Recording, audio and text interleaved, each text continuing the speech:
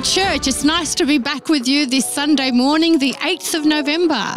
Amen. Yes, good morning. It's so good to have you with us to join us on this beautiful Sunday morning. Yes, it is. So, You've got a scripture for us, uh, Jesse. Well, yes. I just want to share something I was reading this morning, and it's, um, it's found in Mark chapter 8.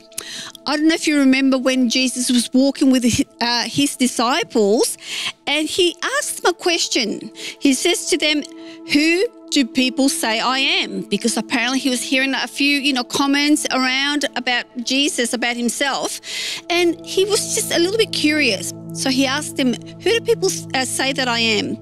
And they replied, Well, some say John the Baptist, others say Elijah, and still others, one of the prophets. But this is the, funny the question that Jesus says to the disciple. He said, But what about you? Who do you say that I am? Because you know, Jesus knew that people had a lot, a lot of things to say about him, but he wasn't interested in the majority of people. He really wanted to know what his disciples and his followers thought about him. And you know, I was thinking about that because sometimes we have an image of Jesus that might not be the, uh, the Jesus from the Bible. And that's exactly what today's messages and the next few Sundays messages that Pastor Rocky will bring to the church in relation uh, really who Jesus uh, really is in our lives. So that's food for thought that when you go home or when you've got time for yourself, read through the scriptures and ask yourself, who is Jesus in my life? Amen. So yes. today's message is Will the real Jesus please stand up? And with that, let's go to prayer. We're going to pray and open the service in prayer, and then we'll go to our worship team who will lead us in worship this morning. Thank you. Lord, we just thank you.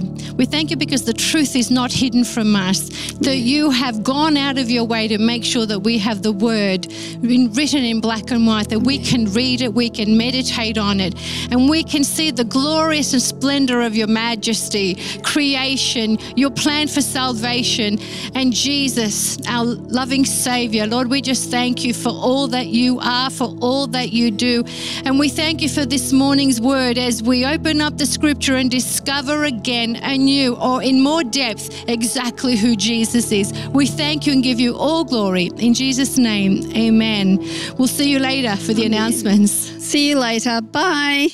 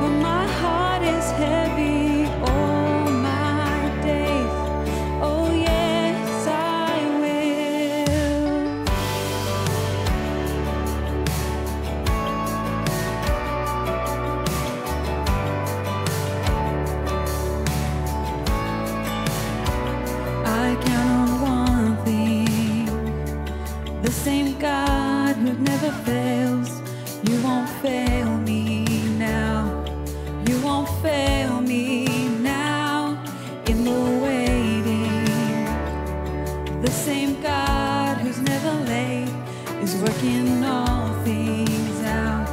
You're working all things out. Oh, yeah.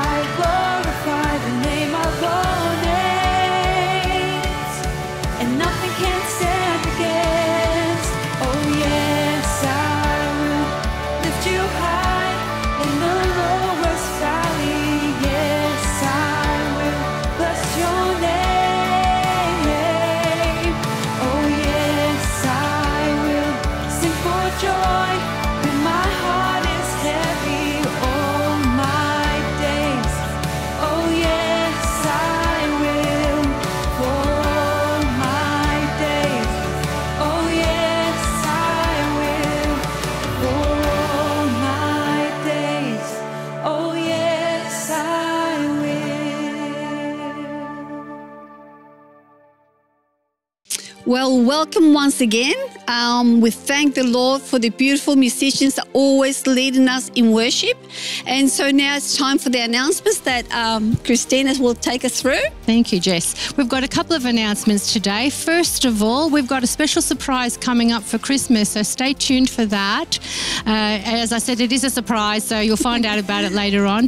And also, this year we're doing one of those toy drives for the foster children, as we did last That's year. right, Remember, yes. that's such a success here at Jesus is the Way. We've been doing that here for years. Many so years. the details are up on the screen if you would like to donate. Uh, last year we bought some gifts for the children. I think we also um, got them some food from McDonald's or something like that, if I'm not mistaken. Yes. Yeah. So again, we're doing that with the foster children. So please uh, feel free to donate, and we'll be encouraging those those children again this year. And now it's time for our regular tithes and offerings. And can I just say how grateful we are here at Jesus is the way that we pastor a church that is generous in so many ways. And many of you have been so faithful in your giving and giving your tithes. And some of you who are not confident in uh, doing electronic transfer, I know you've kept all your little envelopes with your donations and with your your tithes and offerings. And we're they're slowly making their way to us. Thank you so much for your faithfulness there. So I think we're I think that's all the announcements, and we're ready to go back to the worship And- team. Yes, and I'd just like to add something in regards to the foster care. Um, when you give the donations, don't forget to put in the description Oh, yes. uh, foster care, so we know that uh, donation it goes for the foster Exactly. children. Thank you, Jess. That's, That's right. okay. God bless you. and have a great week. We'll continue with the worship. Amen.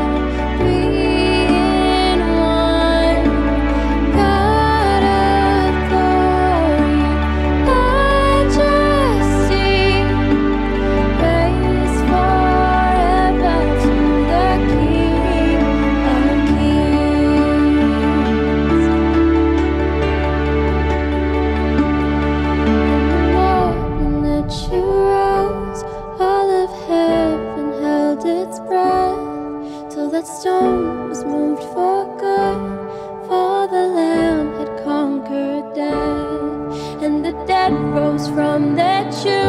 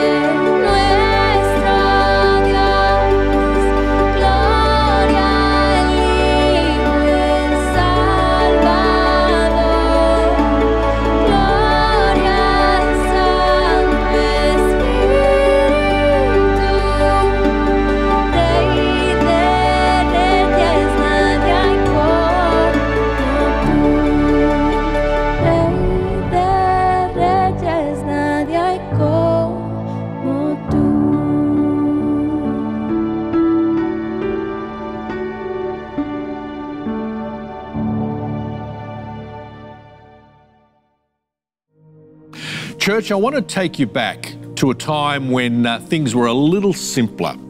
Now, if you're of my vintage, you might remember the late 60s, early 70s. There was a show on television called To Tell the Truth. There were three contestants that all claiming to be the same person. Let's call him John Smith. And a panel of four that would ask a series of questions to the contestants to try to, fi- to uh, finally identify who the real John Smith was. At the end of the question time, the moderator would ask, Will the real John Smith please stand up? And obviously, the real one did stand. Now, each person on the panel had made up their own mind of who the real John Smith was, and the correct choice was the winner. People today have different opinions of who Jesus is. When asked about what thoughts people have, many reply with similar statements such as, The Jesus I believe in is like this. Well, that's interesting. Opinions vary. But the thing I notice often is that Jesus, the, the Jesus that people have in their minds, is not necessarily the Jesus of the Bible. And if, if, if that is the case, then where do people get the image of their Jesus? So I want to talk, uh, take the time, in fact, I want to take the time to look at the real Jesus. Not the Jesus of the alfrescoes and art museums, but the Jesus of the Bible, what he claimed and what he did. I suppose I'm being, uh, I'm, I'm asking the question Will the real Jesus please stand up?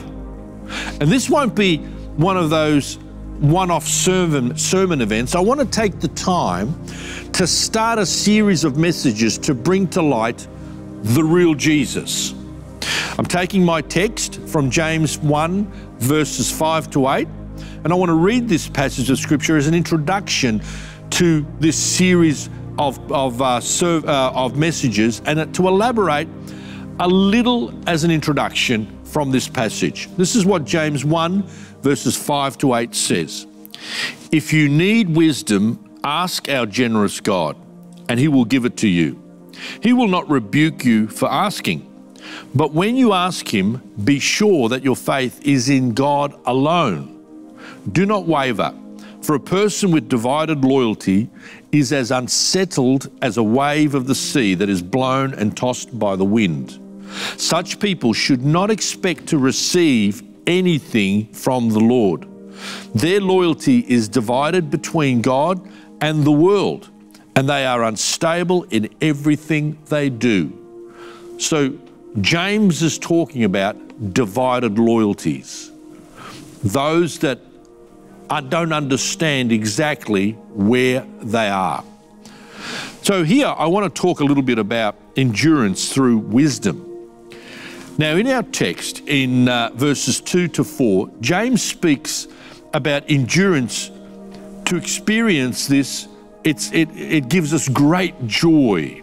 Dear brothers and sisters, when troubles come your way, consider it an opportunity for great joy. For you know that when your faith is tested, your endurance has a chance to grow. So let it grow. For when your endurance is fully developed, you will be perfect and complete, needing nothing. So, endurance can bring great joy. Endurance helps the Christian arrive at a point of satisfaction and completeness with themselves and with God.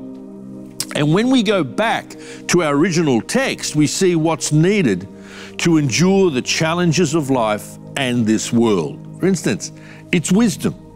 Not just any kind of wisdom, but a godly wisdom. Because the text says, ask God, ask God for wisdom. We're talking about making the right choices through experience, knowledge, and good judgment. Do not waver, it says. That is, to go from one type of wisdom to another type of wisdom, wavering from a belief in God to a belief in something else for guidance. That's what James is talking about. A partial belief, and hear me carefully, because a partial belief in God is no belief at all. And I want to stress this a partial belief in God is no belief at all. Because our text continues to say, for a person with divided loyalty is as unsettled as a wave of the sea that is blown and tossed by the wind. What are the expectations of a divided loyalty? Such people should not expect to receive anything from the Lord, the passage says. Why? They are unstable in everything they do. This is where some people get stuck and can't receive the spiritual benefits that God wants to share. Because they want the benefits of what God has to offer, but not willing to take up the responsibilities He has laid out. Creating a different Jesus for themselves, one who they have formed in their minds, one a Jesus of convenience one who will excuse even bad behavior, not a Jesus of the Bible.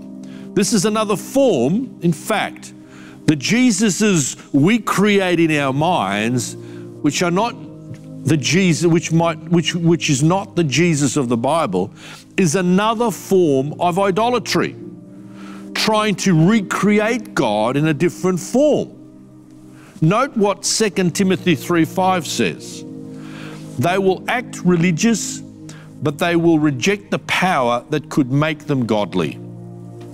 Because we're talking about the real Jesus. I want to look at the real Jesus, the Jesus of the Bible, what he said, what he did, why he did what he did, why he was killed. Why did he rise from the dead? The implications of his resurrected life. He's coming back to take the believers with him. The real Jesus spoke about love, but he spoke about truth to make us understand the real meaning of love, to shake us into reality. He is not a spiritual replica of a nice, fluffy puppy dog, of what we want in our own minds to satisfy ourselves. The Jesus of the Bible spoke of love, but also spoke, uh, uh, uh, showed how love is expressed. Set people free in their, spirit, in their spirits and in their minds. He left an example of looking after the poor and dealing with injustice. He gave people hope for the future. So I asked the question it's the truth that shall set you free. Are we free? Because this is what Jesus said it's the truth that shall set you free. Which Jesus do we have in our minds?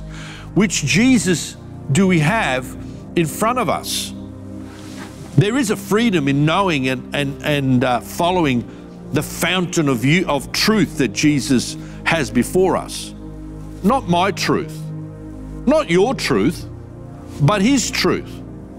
My truth will only cause confusion if it clashes with the truth or His truth.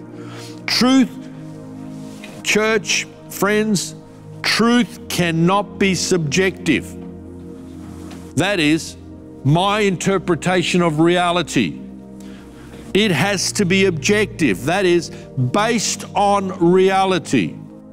What the world needs now is not more money or resources more openness, more acceptance, more tolerance, more justice, more rules, dare I say, more love, as important as, as all of these things are, the one thing which will lead to all the above is truth. And the truth is Jesus. How will we find or discover this truth? Stay with me, friends, stay with me, church, over the next few weeks as I open the pages of Jesus' 33 year life on this earth with humanity, and we will discover his message, his purpose, his achievements, his promises, and we will discover who the real Jesus is as we ask the question Will the real Jesus please stand up? Because that will be the Jesus of the Bible. Pray with me right now. Father, we know that you have ordained for your Son to come to earth and to minister to, humanity. And Lord, we are so desirous into, into having a good understanding of who Jesus really is. Lord, we don't want to be distracted by what the world says or what individuals say, but we want to return back to your book, your word, and discover the real Jesus. So I pray, Lord God, that this will be our desire and all those that are viewing right now to open up their hearts as they follow these series of messages with us to know who the real Jesus is. And we say this and thank you. Amen and amen. God bless you, church. Have another great week.